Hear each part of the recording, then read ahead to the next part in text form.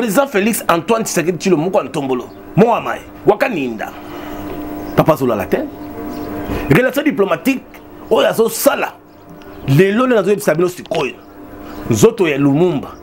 bazongisi na famille na ye na présence ya premier ministre sama lukonde na belgique sikoyo na, na royaume de belgique euti kopesa avec facibe beto mowa mai be ngula kwasa be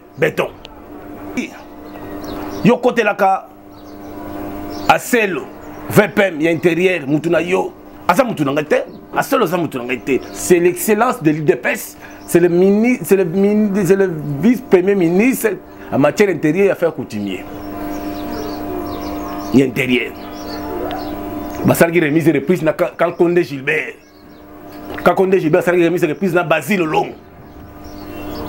mais tala niveau depuis aselo vpm aza na intérieur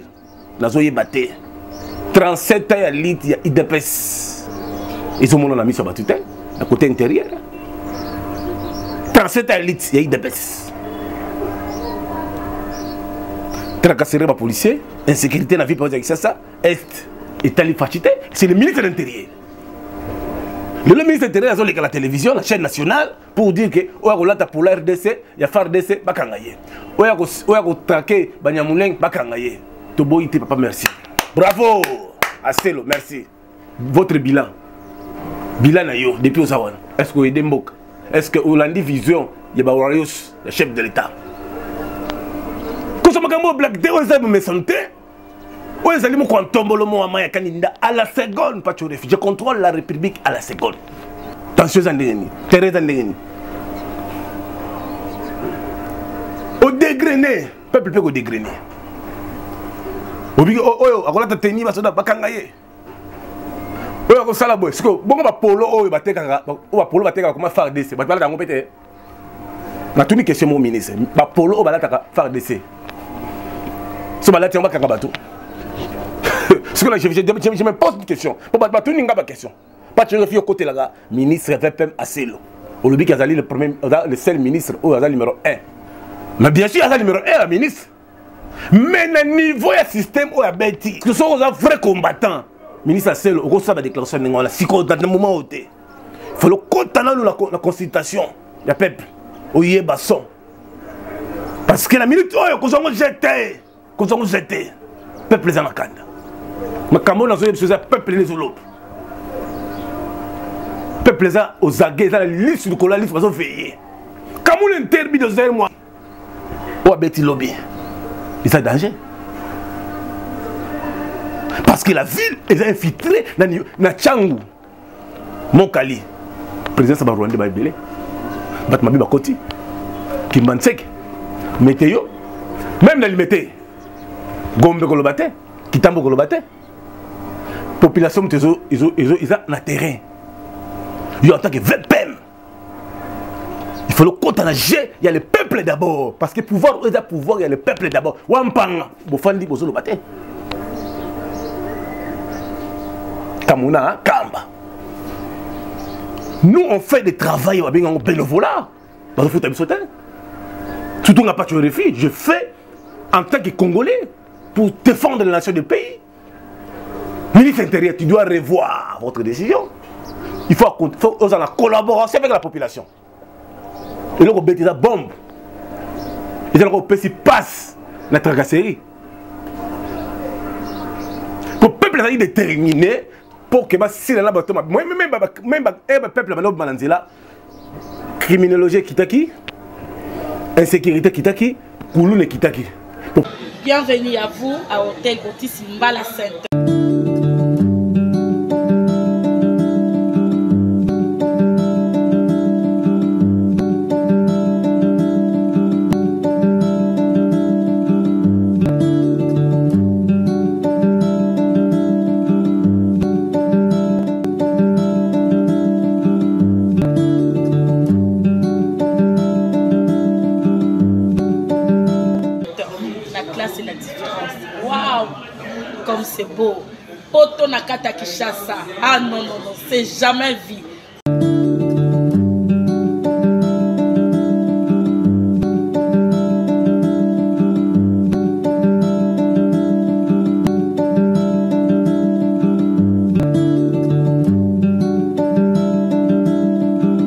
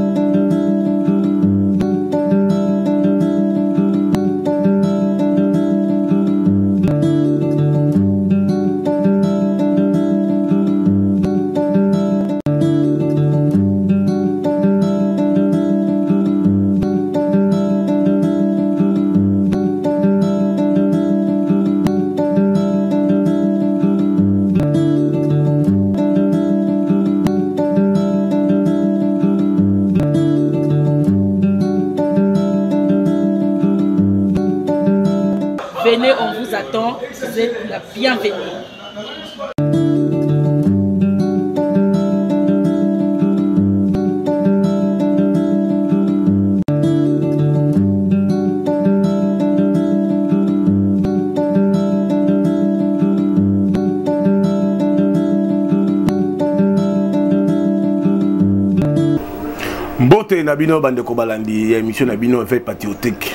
ya mwana mboka patriote efi mokwa ntombolo mwama ya kandinda mais c'est propre moa mayo akandinda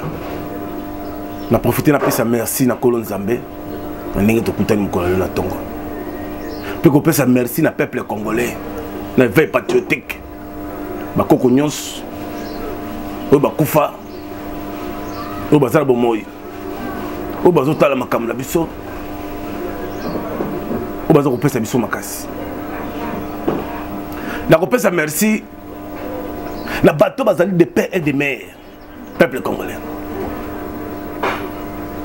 parce que makambo tozo koloba na veille patriotique na diplomatie mokonzi ya mboka faci beton moko ya ntombolo moama ya kaninda mais c'est propre azosala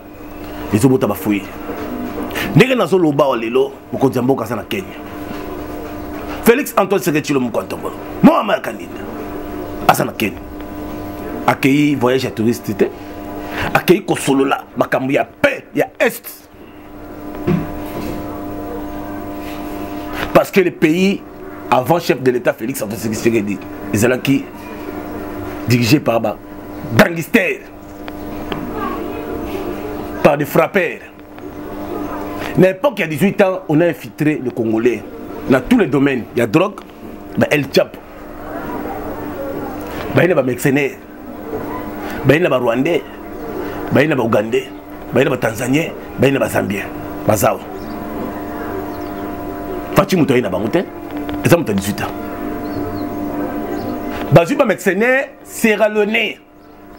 baza awa bazwi bamercenaire oyo basala baguerre na irak na dubai epa king jong bachinois bato basala bitumba na vietnam baye na bango oyo soi disa baye kotonga bandako lokuta baye mpo basala rébellion mpo basala batake bazwi bafaux français bomonaki bango bakanga bango na est makambo tozoloba na eve patriotique na mandeko bozotala biso bozwa yango jete président félix antoine tshisekedi tshilo moko ya ntombolo mowa mai wakaninda papa azolala te relation diplomatique oyo azosala lelo nde nazoyebisa bino sikoyo nzoto ya lumumba bazongisi na famille na ye na présence ya premier ministre sama lukonde na belgique sikoyo mpe na, na royaume de belgique euti kopesa avec faci be beton mua mai be mongula nkwasa be beton kozwa ko jete mosala ezosalama mais il y a des systèmes ya infiltration tala lobi nazwi appel na butu alo paco rfi yo kotelaka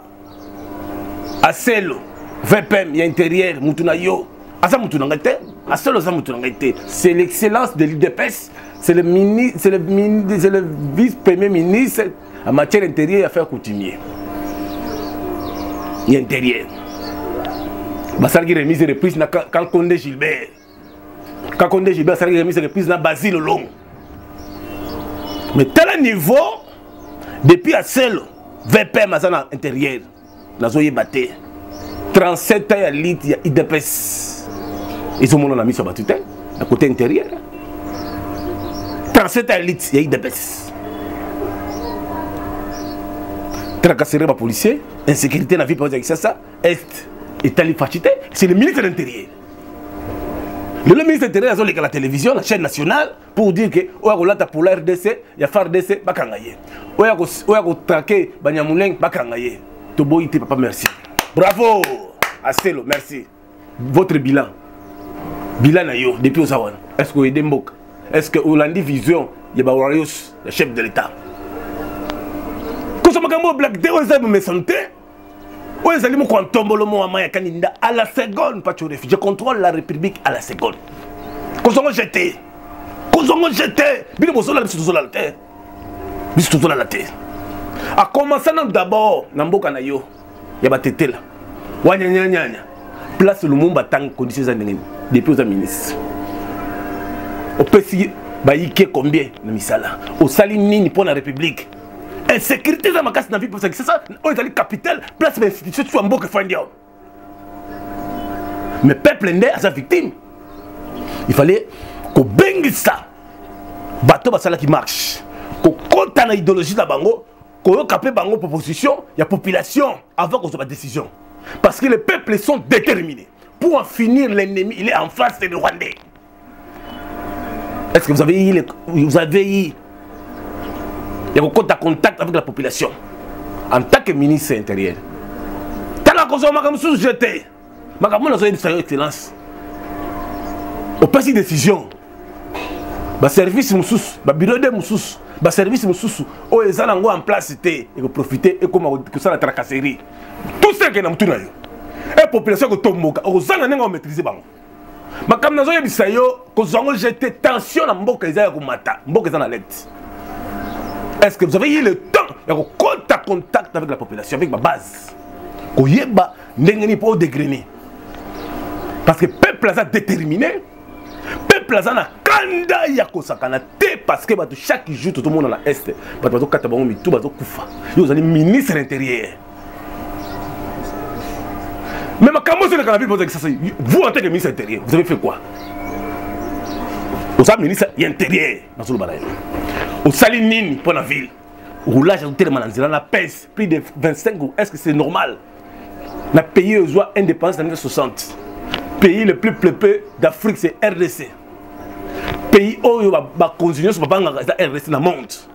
yo en tant que ministre intérieur osali nini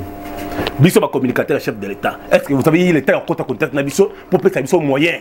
mpo to accompagne vision na yo président ye na 148 territoire bayike oyo bafandi na ba 10e ri oyo bazofanda na banzela ba parlementaire debout bazolobaloba chaque jour est ce que vous avez ye l'état akota contact na bango force du progrès les parlementaires jeunesse boyeboye charge nyonso botikeli ive bokoul zola ministre ya jeunesse oyo azali tout le temps en contact avec la jeunesse tout le temps mais la ville province de kinshasa oyo place que bainstitution tu ya mboka ezali wana mais tala insécurité bazobundisa motu ya chef de l'état yo ozali ministre intérieur asel papa kozwa makambo oje te eloko ofungoli nazoyebisa yo ekozala opesi mbwambo aboyi parce que peuple eza déterminé pour en finir avec l'ennemi c'est rwandais il fallait créer stratégique ya koloba babiso tobiso ngai naza leader d'opinion naza moto ya terrain moko tombola zilwako fanda na mwana eh, yoka son yaka nanu pasteur gili yaka nanu mwana koli yaka nanu eh, jise mombe yaka nanu neville yaka nanu eh, kalo yaka nanu marchel cibango yaka nanu ozwi baleader eh, mayombo yaka nano fanda nano mokili ezoloba nini nalingi nabeta boye bino bomoni ndenge nini tension eza ndenge nini terrain eza ndenge nini odegrene peuple mpe kodegrene oyo akolata teni basoda bakanga ye oyo akosala boye sikoyo bongo bapolo oyo batekaka oyo bapolo batekaka koma fardc bato balata yango mpe te natuni question mo ministre bapolo oyo balataka fardc so balati yango bakanga bato sikoyo je me pose une question po bato batuni nga baquestion patriofi okotelaka ministre vpm aselo olobi ke azali le seul ministre oyo aza numéro 1 mais bien sûr aza numéro 1 ya ministre mais na niveau ya système oyo abeti oyo abeti lobi eza danger parce que la ville eza infiltré na, na changu mokali présidence ya barwande ba ebele bato mabe bakoti kimbanseke meteyo meme na limete gombe koloba te kitambo koloba te population moto ezo, ezo, ezo, eza na terrain yo en tant que vpm il faut lokota na jeu ya le peuple d'abord parce que pouvoir oyo eza pouvoir ya le peuple d'abord wa mpanga bofandi bozoloba te président amisi ya ligue des jeunes idps bolobi te fo boloba te ak a 47 kabuya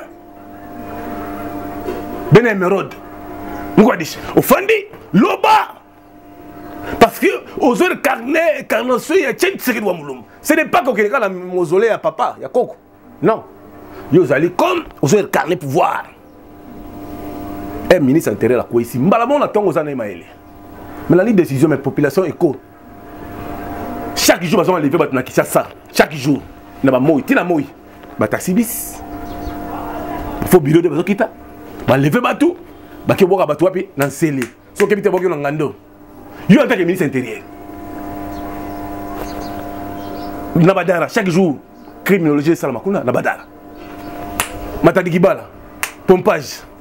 kitambo bandalungwa yo oza ministre intérieur kese moko ezalaka babengao kese noire ezalaka na ministère intérieur na ministère intérieur bazalaka na foni mpo nini balobi na foni te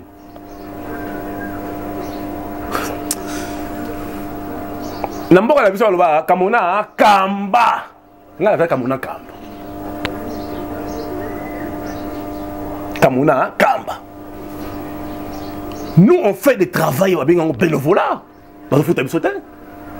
surtout nga pacho refi je fais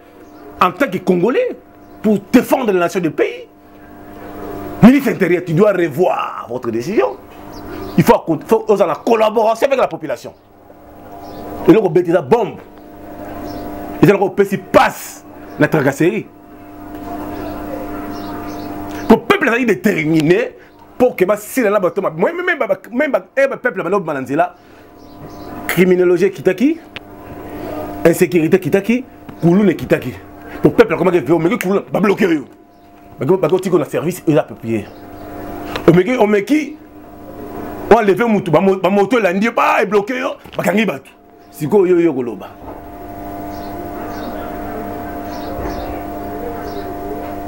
na kitetela nayebi te nde balobaka na kitetela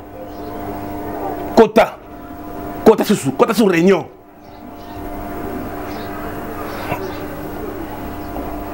peuple congolais soyons vigilants peuple congolais soyons vigilants peuple congolais soyons vigilants badétournement ezosalama kosala na baministère na gouvernement baroyos za mboka bazoyede na eloko te président aza ye moko aza ye moko na peuple beaucoup de félicitations na mokonzi ya mboka mpo aesui lisusu ministre ya so ya pssp likambo ya gratuité d'enseignement merci e félicitation na basoda na biso fardc komanda tabu na pointe chiko kitambwe mosala kitoko komanda nzambe apambola yo colonel mpiana moko na ntombolo mwa mai colonel lukusa moko na ntombolo komanda mulumba faut défendre la nation papa etienne tshisekedi en vie il a dit prenez prenez vous en charge laissez les partis sera bloqué quelque part eh papa etienne tshisekedi alobi prenez vous en charge peuple enge ezwanga en charge yo ye ongoboya siko maloba ya kondo etienne tshisekedi wamulumbu moama yoke linda bokongo nzoko besekade koza makambo oje te oza elenge ye te ngai naza combattant ya première eh,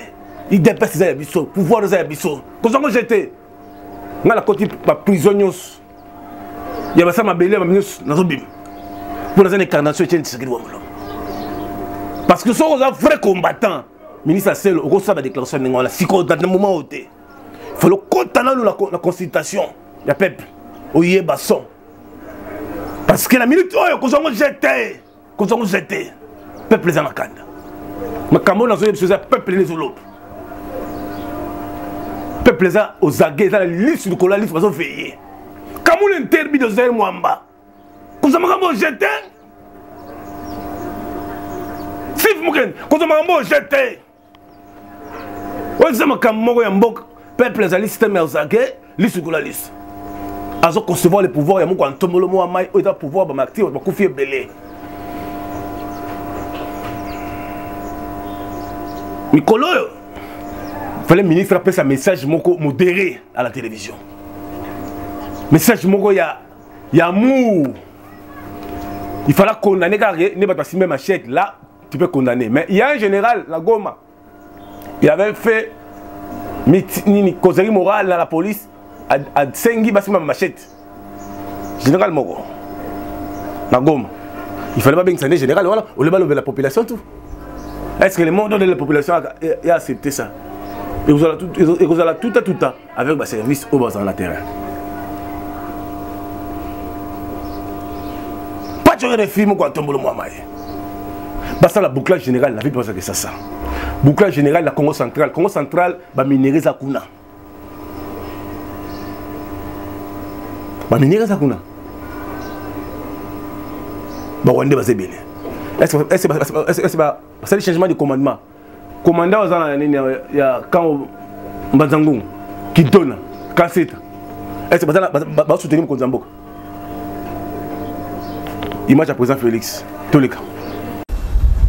C'est une visite officielle de quelques heures que le président de la République, Félix Antoine Tshisekedi Chilombo, a effectuée ce mardi 31 mai 2022 à Luanda, capitale de la République sœur d'Angola. Arrivé en début d'après-midi, le chef de l'État est accueilli au pied de l'avion par le ministre angolais des Affaires étrangères avant de traverser la haie d'honneur lui réservée par la garde d'honneur angolaise.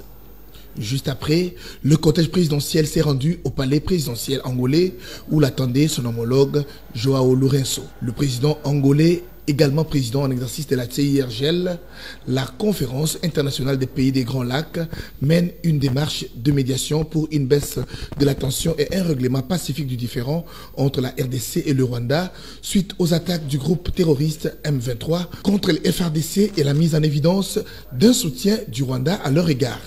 c'est que Kinshasa a dénoncé vivement ce mardi les Congolais et Angolais ont eu un tête-à-tête de près de deux heures centré sur la paix dans la sous-région des Grands Lacs et le différend entre Kigali et Kinshasa.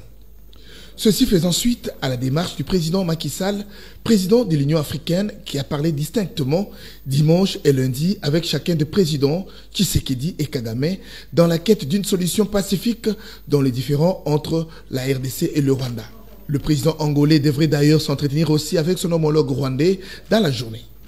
La RDC, par la voix de son président, a fait savoir qu'elle veut la paix, mais une paix juste et basée sur la confiance et la sincérité des engagements. Sans être belliqueuse, la République démocratique du Congo défendra avec détermination sa souveraineté.